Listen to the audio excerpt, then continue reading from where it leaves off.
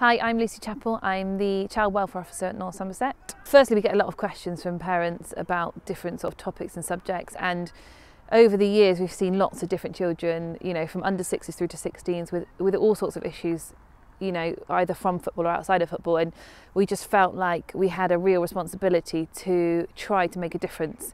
So we've started with a series of workshops. We're now working with our coaches um, to try and improve sort of ways that we deal with situations or the language we use with children. And I just think if we can educate the parents and the players and the children and just plant as many seeds as possible, then we'll we'll start to make a bit of a difference. Coaches, parents, and players at North Somerset Regional Talent Center have now been given the tools to tackle mental well-being both on and off the pitch. Having a conversation for parents, I think especially maybe in the car when actually that child doesn't have to look at you, actually that's a really really good starting point to have you all right? What's been going on? You seem a bit low lately.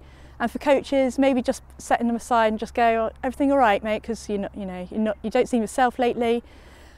Don't expect an answer straight away. It just starts that conversation that actually you're aware, you've noticed some differences, and that actually you're willing to help. So you might not always get the answers straight away, but actually you've made yourself um, proposal to them that actually they can talk to you. Having that fresh air, getting outside, getting some sunshine like today, um, getting that exercise is, is so good for your mental health. It's, and you're doing some team sports, which are even better getting those friendships, getting those team building, it's really, really good for your mental health. So although, you know, we're talking about how to look after your mental health and perhaps when we get ill, actually the things they're doing already are amazing for them. The most important thing is for the children to, to walk away confident enough that they could speak up either about themselves or about their uh, teammates and that parents feel more confident in how to approach subjects with their children.